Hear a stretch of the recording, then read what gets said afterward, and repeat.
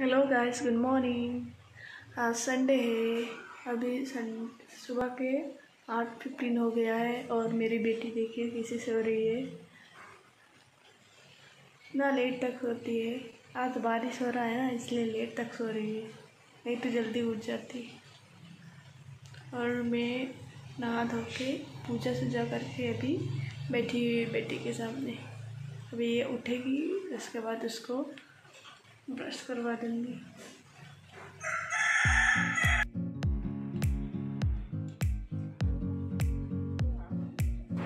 सुबह का ब्रेकफास्ट हो रहा है। देखिए, मेरी बेटी कैसे ब्रेकफास्ट कर रही है।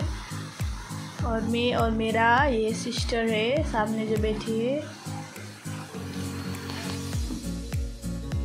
और ये मैं, मेरी सिस्टर क्लीनिंग कर दे रही है। अभी पार्लर नहीं जा सकते।